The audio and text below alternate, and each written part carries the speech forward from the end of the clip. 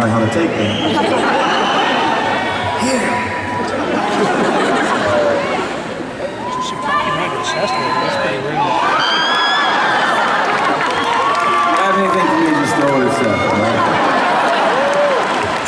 I could have messed up Mike Marsh's hair. That, all the way past me and hit Mike Marsh. On the drum kit, everyone. Mike Marsh on the drum kit.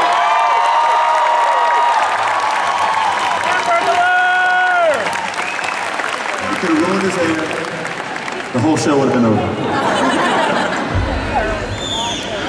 For me, anyway. Then. Here's uh, here's what we learned from Doc Watson. We don't do it so much like Doc did. We, we kind of do it like we do. It's called the country blues.